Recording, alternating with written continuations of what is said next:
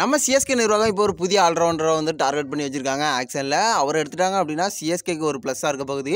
அது மட்டும் இல்லாமல் சேப்பாக்கத்தில் அவரை வச்சு நிறைய தரமான சம்பவங்களை வந்து பண்ணலாம். அந்த ஆல்ரவுண்டர் யார்? சிஎஸ்கே வந்து அவரை டார்கெட் பண்ணுறதுக்கான காரணம் என்ன? அவர் உள்ளே வந்தால் சேப்பாக்கத்தில் வந்து என்ன பண்ண முடியும் அப்படிங்கிறத பற்றியும் நம்ம சிசண்டாக இப்போ ரோல்ட் அவுட் ஆயிருக்காரு. என்ன காரணமாக ஆயிருக்காரு எந்த மேட்சில் இருந்து ஆயிருக்காரு? அவர் வந்து சிஎஸ்கே வந்து ரீட்டர்ன் பண்ணுவாங்களா அப்படிங்கிறதையும் இந்த வீடியோவில் பார்த்துக்கலாம் அதுக்கு முன்னாடி சேனலுக்கு புதுசாக இருந்தீங்கன்னா சப்ஸ்கிரைப் பண்ணிக்காங்க. அப்படியே காத்துவாக்கில் லைக்கும் போட்டுருங்க. நம்ம சீசனாக கைலி ஜேம்ஸனோட ரீப்ளேஸ்மெண்ட்டாக நம்ம சிஎஸ்கேக்குள்ளே வந்திருந்தார். பட் அவருக்கான வாய்ப்பு வந்து கிடைக்கல. இப்போ அதாவது ரெண்டாயிரத்தி இருபத்தி மூணில் வந்து சீசன்டாவை ரீட்டைன் பண்ணுவாங்களா மாட்டாங்களா அப்படிங்கிற மாதிரி நம்ம ஃபேன்ஸ் எல்லாருமே எதிர்பார்த்துட்டு இருந்தாங்க.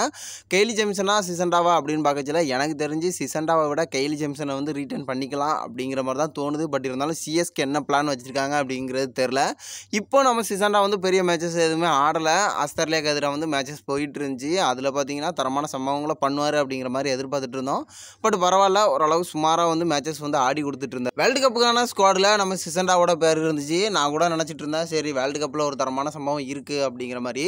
பட் இப்போ பார்த்தீங்கன்னா நம்ம சிசண்டா வந்து வேர்ல்டு கப்பில் இருந்து ரூல்ட் அவுட் ஆயிருக்காரு அப்படிங்கிற மாதிரி அதிகாரப்பூர்வ அறிவிப்பை வந்து வெளியிட்டிருக்காங்க. ஆஸ்திரேலியாவுக்கு எதிராக மேட்சஸ் ஆடும்போது தான் காலில் பார்த்தீங்கன்னா அவருக்கு வந்து இன்ஜுரி ஏற்பட்டிருக்கு. இந்த காயம் எந்த அளவுக்கு பெருசாக இருக்குது அப்படிங்கிறது தெரில பட் இப்போ வேர்ல்டு கப் ஸ்குவாட்லேருந்து வெளியேறி இருக்காரு அப்படிங்கிற மாதிரி அப்டேட்டை வந்து கொடுத்துருக்காங்க.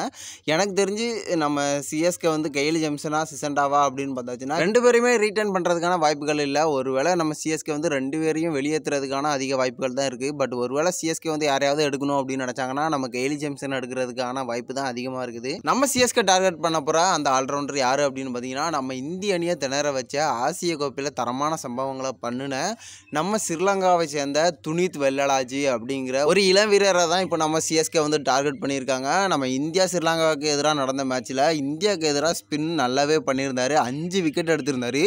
நம்ம ரோஹித் சர்மா விராட் கோலி அது மட்டும் இல்லாமல் கேஎல் ராகுல் இசான் கிசான் அது அது மட்டும் இல்லாமல் கில்லு அப்படிங்கிற மாதிரி அஞ்சு விக்கெட்டை வந்து எடுத்திருந்தாரு. நம்ம இந்திய அணிக்கு எதிராக ஒரு தரமான சம்பவத்தை வந்து பண்ணியிருந்தார். அதுக்கப்புறமா நிறையா இவரை பற்றி பேசிகிட்டு இருந்தாங்க.